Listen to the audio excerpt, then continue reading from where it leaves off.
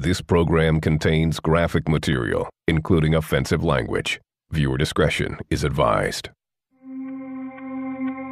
When you live a notorious life, you're more feared than respected. See my face? The most vicious, the most violent, Love, hate, kill, take. the most dominant. Who the f- are we? You get what you want because you take what you want. You dig? Gangland's most notorious. Gangland.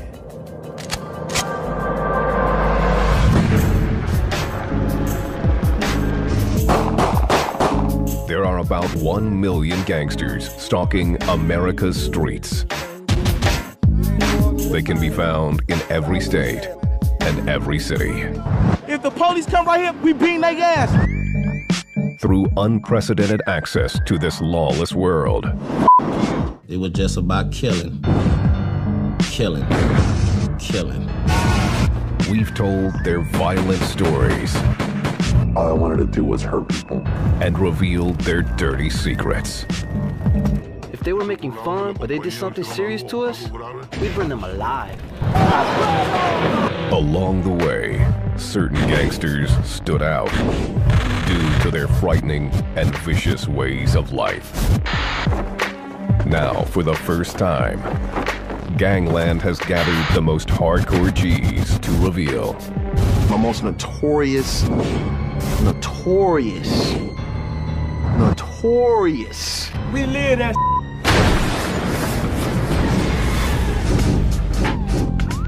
Grammy nominated rapper Snoop Dogg was born and raised in the ganged up neighborhoods of Long Beach, California.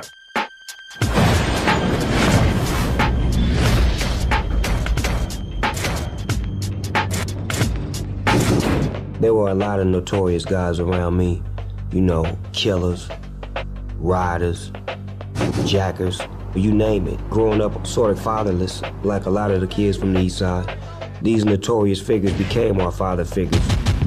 Snoop Dogg was once a member of the Rolling 20s Crips before becoming a rap star. While he has left the streets, his music is still inspired by his old hood. It's all life. If you take my head away, whatever I'm rapping about gonna still come out because it's in my heart. It's not in here. It's in my heart. They always say you can take the homeboy out the hood, but you can't take the hood out the homeboy.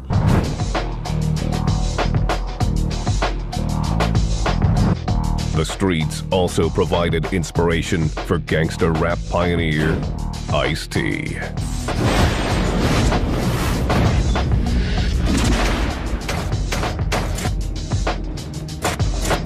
I've been fortunate to see a lot of the sides of LA. See, I not only saw the gangbang side, I saw the drug dealing side. Ask your mama what this is. I saw the hustling side, the pimping side, the boosting side. So I walk lightly.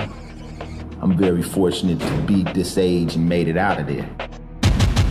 Ice T attended LA's infamous Crenshaw High School in the mid 1970s with some of the original Crips. Ice T never joined, but he turned the grittiness of the streets into gangster rap. It's kind of like cheerleading for the hood, you know? And uh, I started to tell the stories of the streets, you know, how easy you could get shot, how easy you could get get dealt with out there. Um, I have actual gang banging rhymes that nobody's ever heard. You want to hear a gang a, a gang rhyme? Strolling through the city in the middle of the night, on my left and on my right, yelling "cook cook cook ripped every I see. If you bad enough, come f- with me. Camera's looking for what the f- the camera's looking for. Snoop Dogg and Ice T rhyme about notorious G's from two categories gangsters that take orders, and gangsters that give them. The ones that give the orders are known as shot callers.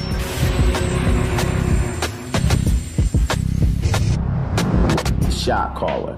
Those are the people in the set that can actually make things happen. Those are the people you need to know. Once you become the shot caller, the whole world knows.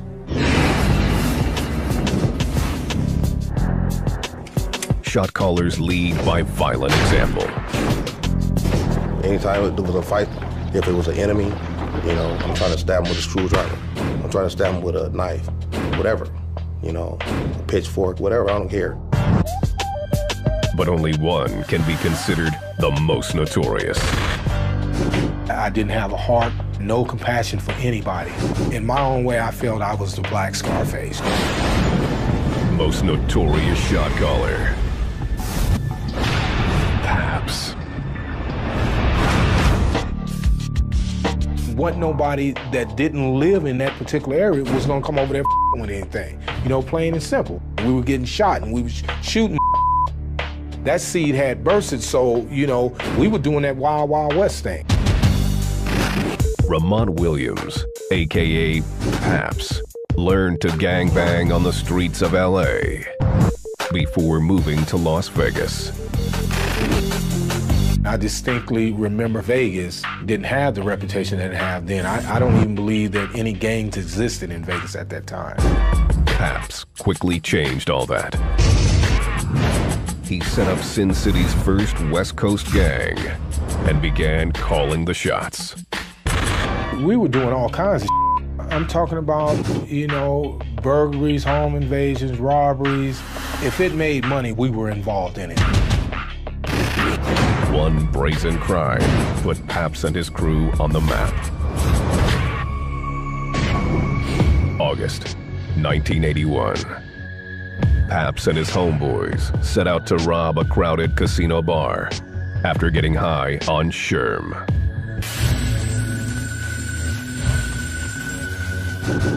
He ended up in a shootout with the cops.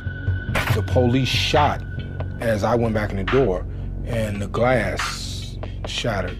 So um, my homeboy was next to me, so I took the gun and started shooting back at the police through the busted glass. Paps quickly took a hostage and locked himself in a nearby freezer. The negotiator came, the same you see in the movie. They got the place surrounded. They ain't gonna never get up out of here. They just gonna eventually end up killing us. Paps surrendered and served over 20 years in prison before being paroled. When he returned to the streets, he did so with a vengeance. I was that hardened gangster thug, street warrior, if you will. Even more so than I was before, a hundred times more. Paps has been in and out of prison for the last 30 years. And he doesn't see the notorious lifestyle going away anytime soon. Just like pouring water in a glass with no sides. It would just keep flowing and flowing. It has no end. Only a beginning, but no end. But for many notorious gangsters, there is an end. A violent one. Violence is the glue that keeps the organization going.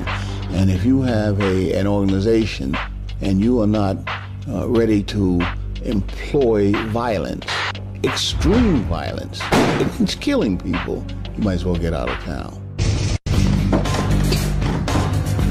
Death can come in many forms. The blade, the bullet, even the needle. I'm like kind of a, a professional mourner now, you know. Death don't really bother me like that.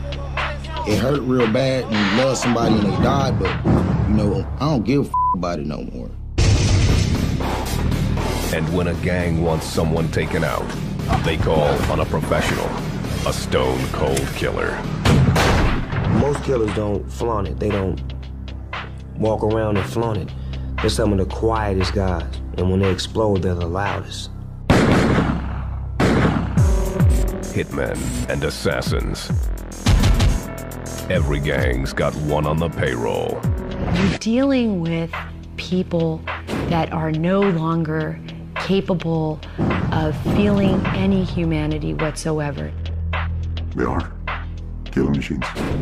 Killing machines with no soul. Their techniques vary, but their results are the same. Heads and, and hands, they got dropped in big acid, you know, it dissolved the skin. So you have is a skull. The skull is easy. You know, you break it up, you, you grind it down, you know, it's it's ashes.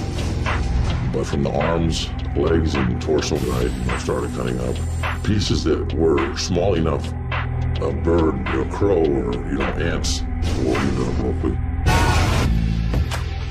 Few killers have revealed their true identities to gangland, but one didn't hesitate.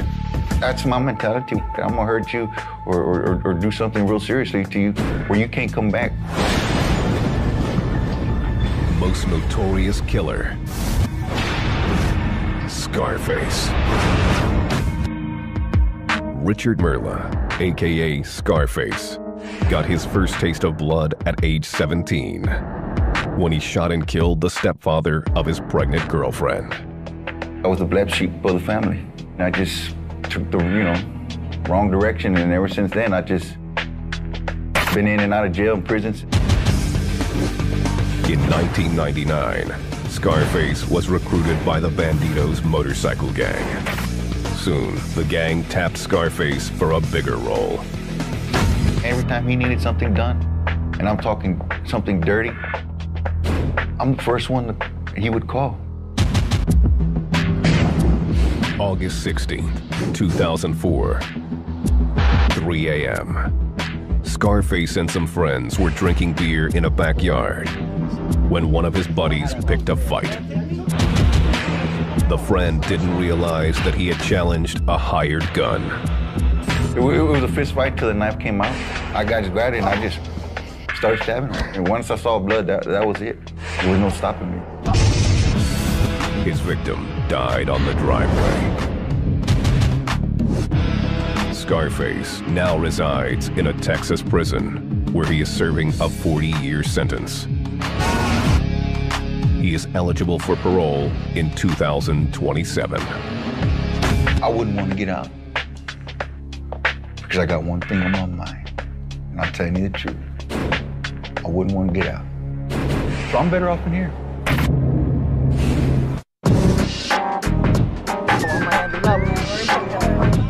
Gangster Life. I'm from the streets and this is what's up. Look, bullet one right there. Uh, still fresh and kind of looking ugly.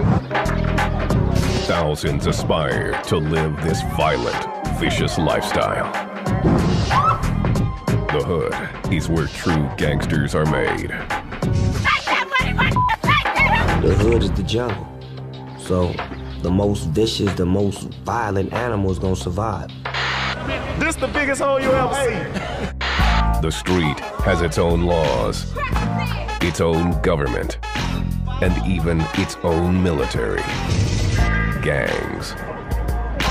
There's a lot of politics that go on in there, and gangs are a big part of it. You better respect them. They're like the army. On the front line are the street soldiers. Street soldier is uh, someone who's always on call, ready to go get it done, no matter what time it is. You need somebody hit, you need somebody touched, you need somebody scared, you need somebody shook up. That's what a street soldier does, by any means necessary at all times. Every street soldier has one thing in common a fierce loyalty to his hood. West Sound. Real crip, Compton. It's not only his home, but also his livelihood. You got your blows, your, your rocks, or your weed. That's how we do it. Look at that. Most gangs rely on the money they make selling drugs. And soldiers will do anything to defend their territory. You got all these buildings shooting at you at one time, bullets flying past your head. So many different gunshots. Boom, boom, boom. The threat of death means nothing. Dying is part of it. That's the way it has to be. And that's the mentality that even the youngest gang member has. You go out there half-ass gang banging, you're not gonna survive. That's the scar from where they cut me open. This uh is where I got shot nine times in the chest, stab wound. I've been shot 23 times on different occasions. I've been shot in the head, point blank, nine times in the chest and stomach. I got shot in the balls. Only the most notorious street soldiers have been to the brink and lived. Most notorious street soldier, Little Bear.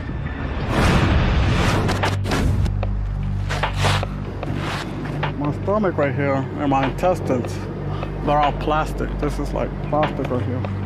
I can't really feel this area right here.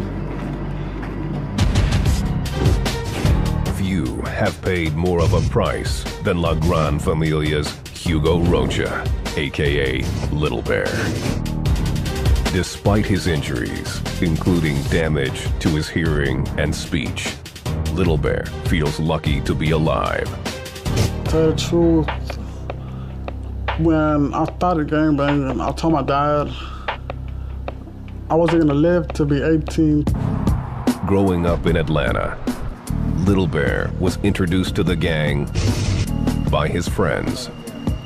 We'd be tagging, smoking, um, drinking, you know, skipping school. I mean, we'd be breaking into houses, stealing cars. In 2003, Little Bear was outside his girlfriend's apartment when a rival gang member rolled up and pulled a gun. He shot me. He shot me in my leg. When I first started running, that's what made me fall. I got back up. He shot me seven, eight more times in my stomach. Little Bear was rushed to the hospital and slipped into a coma. He woke up three months later. I couldn't talk, eat, move. I couldn't do anything, and I didn't even know who I was. Little Bear now uses his gruesome scars to show the consequences of being a street soldier.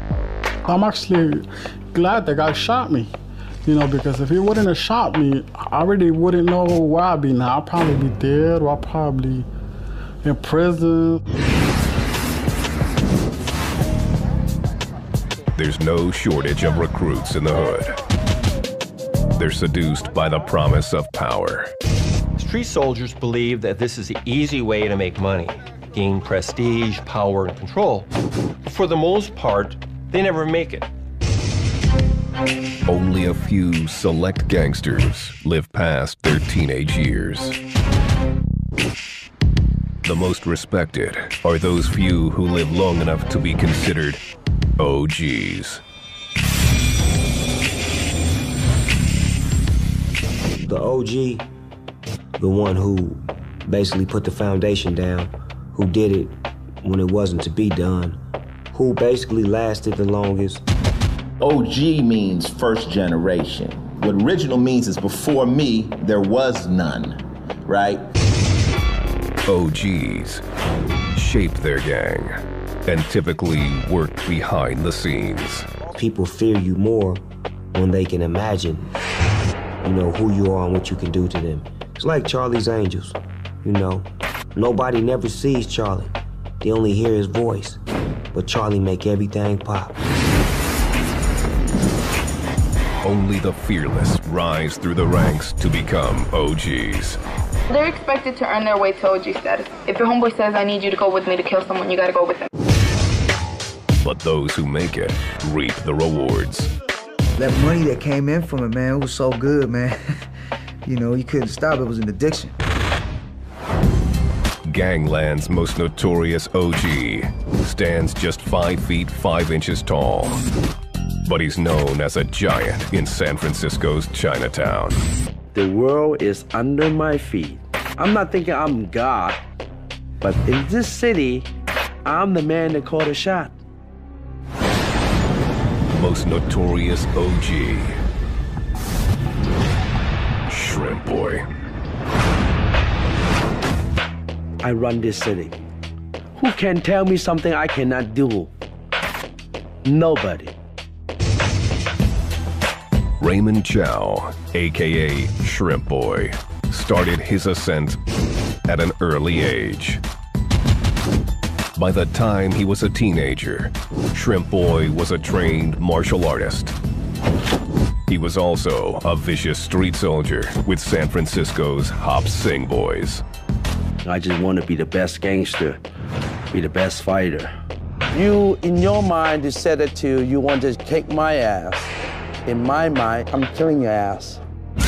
Shrimp Boy became the gang's leader, selling drugs and making serious cash in Chinatown's illegal gambling halls. We involved with directly organized crime. We're dealing with drug. We're dealing with money, gambling. Raymond was the hands-on guy. He was the one that was personally involved in a lot of criminal activities, and he was the violent one. The money and power were irresistible. One dinner, we spend $30,000. Anything you dream of it. We go to bed with seven girls. Ain't that fun? I mean, can you handle seven girls at one time? No. Shrimp Boy's high flying life came to a halt when he was imprisoned on six counts of trafficking firearms. Now, Shrimp Boy says he's trying to go legit. I just, I just want to be the normal people. Just be accepted by my community. Not to be alone like inside the prison. Is he just doing a good job of pulling the wool over everybody's eyes? Maybe he is. Uh, we'll find out if he ever gets busted again, I suppose.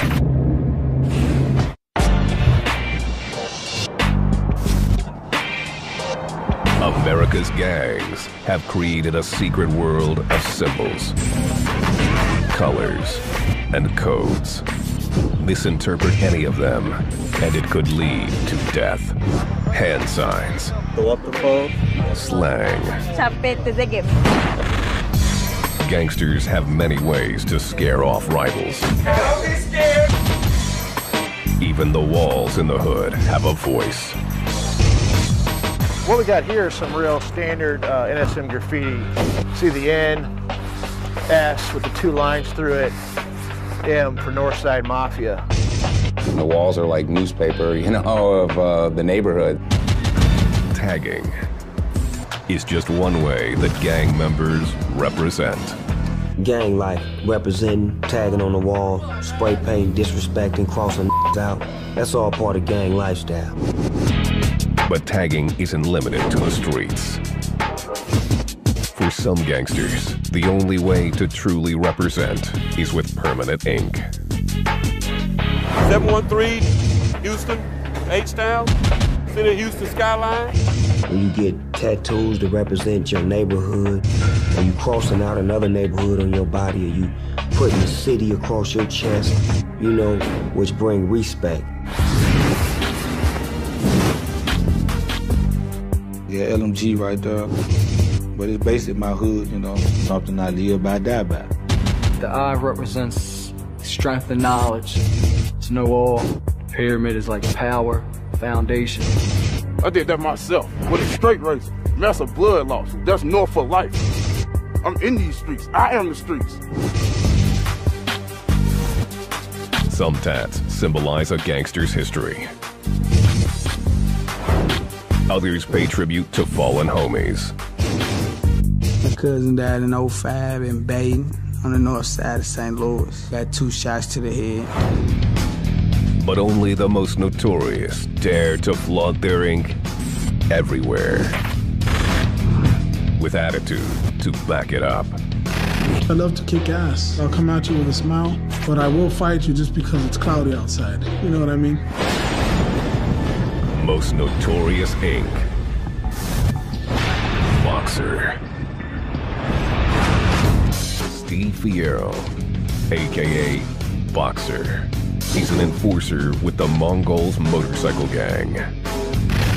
When there's people out there who don't really agree with what has to be taken care of, I make sure that they agree with it. I don't take no for an answer. Boxer earned his nickname at an early age. My parents don't even call me by my, my given name. I, I'm even boxer to my parents. His body ink shows his fierce dedication to the Mongols. I'm proud of my club, so I want everybody to know about it. A lot of them have different meanings. You know, we got the brother heads on us, like this. The MFFM that I have right here on my chin, it's Mongols Forever, Forever Mongols. This is telling you that I really don't give a about you, and if you want to do something, you can do it. Boxers ink reflects his philosophy go big or go home. When I first started, I got these on my face, and a lot of people were looking at me and saying, Hey, well, what do you got that genie for? You know, so I put the Mongols over so that they know what it is. Boxer's dedication to his gang will extend to the grave. I'll live for my brother, I'll die for my brother, I'll take a bullet for my brother. That's just the way I live. Undying loyalty is typical for all members of OMGs.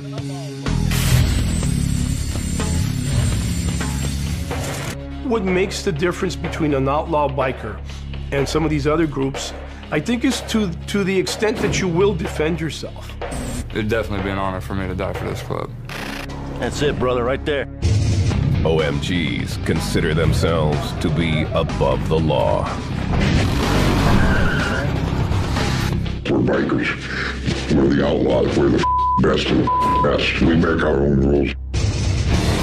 They show their force in numbers. You get on your bike when you're with 30 or 40 guys.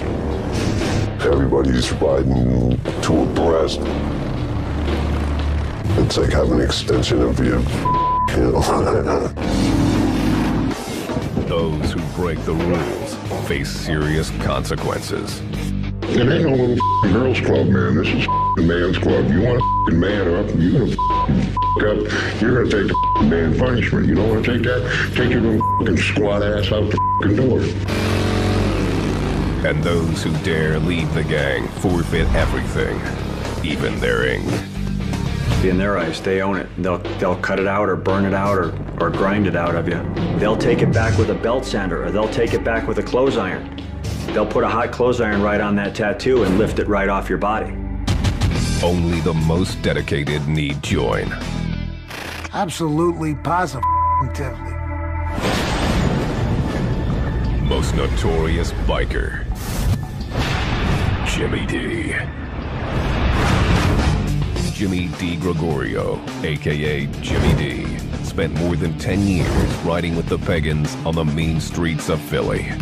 One for all, all for one. Let's die together, let's fight together, let's f- together. For Jimmy D, the Pagans were the doorway to a life of debauchery. If there wasn't group sex, I never would have joined the Pagans. It was one big orgy. Everybody get naked and jump in a pile. Life in the fast lane required a boost. For the Pagans, that came in the form of methamphetamine. Meth is the key drug of most motorcycle gangs, most bikers. It keeps you up, makes your party longer, makes your ride longer. Jimmy D cooked pure meth for the gang. They then developed ingenious ways to increase profits, cutting the meth with different substances, including baby laxative. Mannitol. And the best part is, people used to do a line snort, a line of meth, and have to go to the bathroom. And when they went to the bathroom, they would come out and go, man, that's good stuff. I had to go to the bathroom. Little did they know it was because they were doing baby laxative. Jimmy D was making so much money that he caught the eye of the Italian mafia. Nicky Scarfo was the boss of the Philadelphia mob. At some point, he decided that we were going to pay a street tax to the mob to be allowed to deal drugs in Philadelphia. He lost his mind when he thought that he could shake down the Pagan Motorcycle Club for street tax. Jimmy D responded by kidnapping two mobsters and shooting one of them in broad daylight. And I got out of the car and shot him in front of the cops. Jimmy D's stint in jail was short lived. The time meant nothing to him. When the Pagans go to take care of business, they go to take care of business. Repercussions don't matter, results don't matter, it's brotherhood.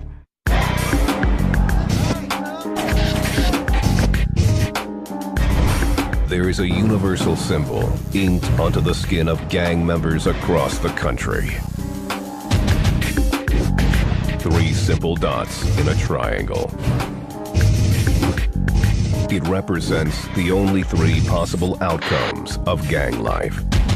Prison, a hospital bed, or the grave. Prison can be like death. At some point in the time, in a criminal's mind, you think you slick. There's some kind of ego that goes with it, you know, but that's quickly erased with prison. Inside, there are only two types of gangsters. You either a wolf or a rabbit. And ain't no in between. You either a wolf or a rabbit. Rabbits get ate.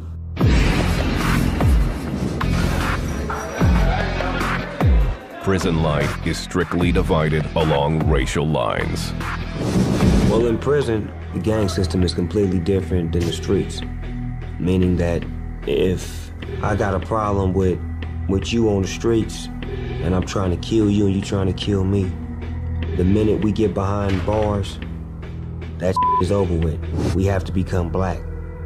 And it's a race thing now. These guys like to segregate themselves on this yard by race. Off to my left, you see the inmates over here. This is our, our white area. Over here, you'll have your skinheads. And then off to the right, you'll have your southern Mexicans from Southern California. The Sureños is what we call them. Gangsters new to the pen need protection. And there's only one way to get it.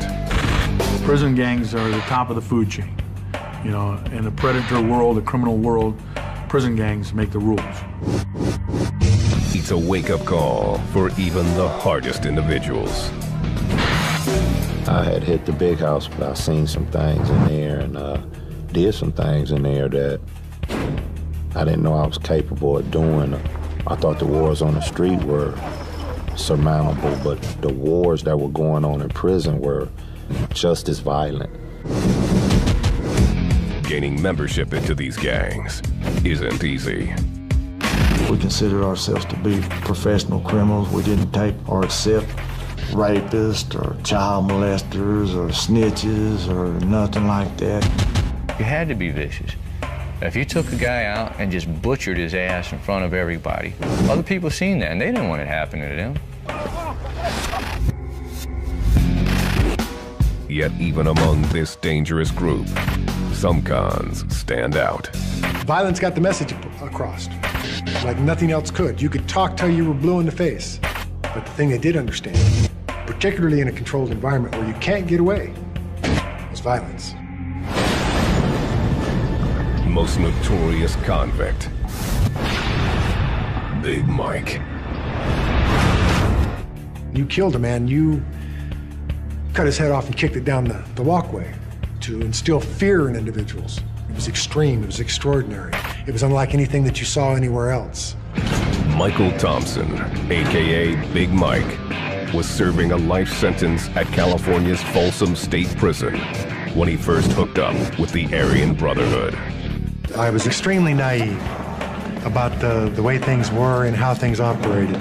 Well, this is the big house, and this is where the big boys play. At six foot four inches and weighing 285 pounds, he was seduced by the promise of brotherhood and unity. They make you feel good, make you feel proud, make you feel like you're a part of. And of course, all of us are looking for that, particularly in prison. Big Mike mastered the art of war. His weapon of choice, the shank.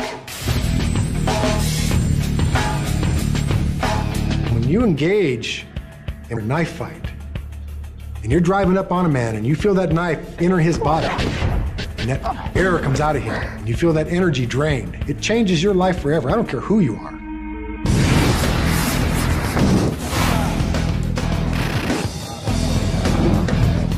when inmates are released.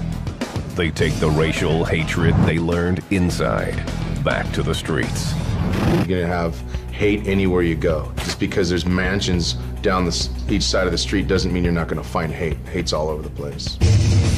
And nowhere is this hate more prevalent than with white supremacist gangs. White power! The white power movement comes in many forms. From white robes to shaved heads and combat boots. I have skinhead across my knuckles. I have Sieg Heil across my back. Different German slangs, different Third Reich symbols. Most people will not even look at me twice without pretty much pissing their pants.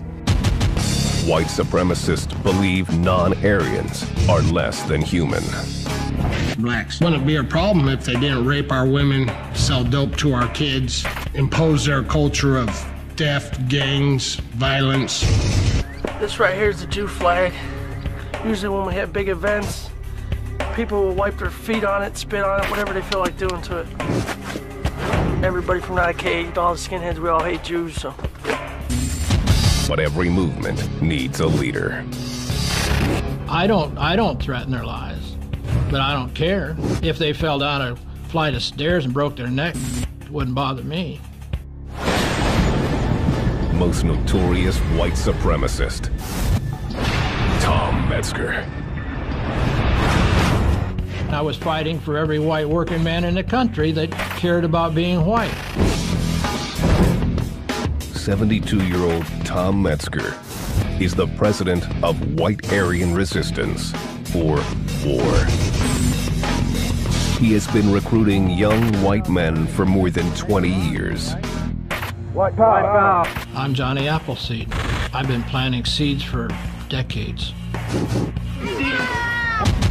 Those seeds are growing up, and they're going to grow up a lot more. Metzger is convinced the country is headed for a race war and is preparing his troops for battle. You're probably going to see revolution of, and civil war in your lifetime.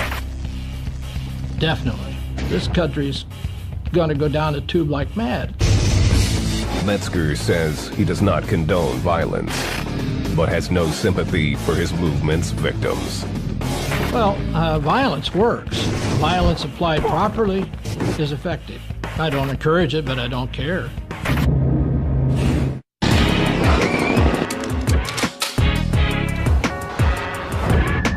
Notorious gangsters come in many forms. From shot callers to street soldiers to OGs to killers. All we do is pull the trigger. They are all after the same thing respect. Respect. That's a small word, but it holds a lot of value. Respect can't be bought, it's gotta be earned. And the only way to earn it is the old fashioned way. You gotta take it.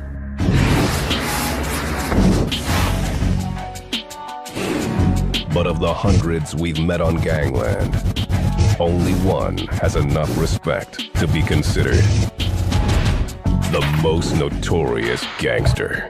They call it the Grim Reaper. Looking for a life to snatch. Most notorious gangster.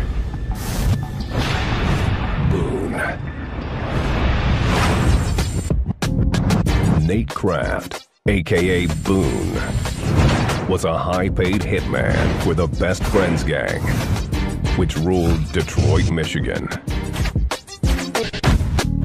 Boone asked to have his identity concealed. People hear about it and they like, you see the guy that called Boone? Big black bald head. Most of the time he got a hood or glasses on. If you see him, you know you did. He is responsible for 30 murders. His scars tell his story. I was set on fire. Also received a shotgun blast. All this was from people that didn't like me. Boone was in his late 20s when he was recruited by the notorious Best Friends. What they were doing it was a murder game. You only get one shot at that. There's no second chances, there's no third chances. You get one shot. Boone started doing hits for the gang, making as much as $50,000 per killing. Once you got a little taste of money, you wanted more money. You never could get enough. If you see a guy 19 or you see a guy 20 years old in a blazer with custom Louis Vuitton tops with gold rims and the car is just banging a sound system that's louder than Joe Louis Arena, you know what's going down. Boone didn't just do it for the money. He took pleasure in making his victims sweat. Most guys, I will make them suffer. They know I'm coming for them, so I'll let them know I'm coming for you. Sometimes I'll just show guy past me, hey, how you doing? I'm not there to do you yet. But you know I'm coming. Boone's killing spree ended when he was arrested on drug charges. He cooperated with authorities in exchange for a reduced sentence. But snitching on a gang has lifelong consequences. I usually be in the hunter. Now I got people doing me, trying to do me. That feel weird because I gotta watch my back. Boone has a warning for the man who tries to take him out. They could count on one thing. You better make sure the first bullet counts. Cause then that ain't nothing gonna stop me till I get my hands wrapped around your throat and snatch it. Hopefully I'll be able to take them to hell with me. I'm not going by myself.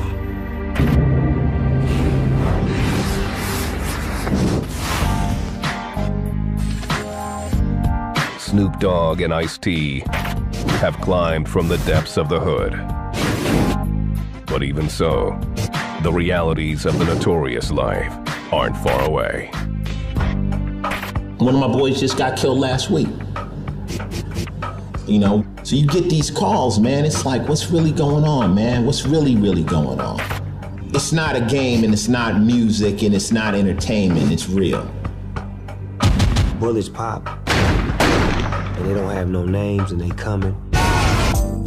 Their advice for those who aspire to be the most notorious. Take heed and choose wisely. In the minds of those soldiers, they feel this is a real war. You dig?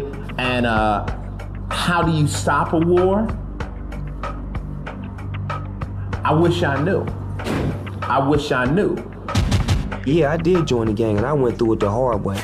And I had to learn and understand that it started off as family and then it ended up as, you know, money. And then it ended up as, you know, greed. And all of those things make for one thing death. Period. What kind of candles do you want on your cake? What you want them to read on your obituary?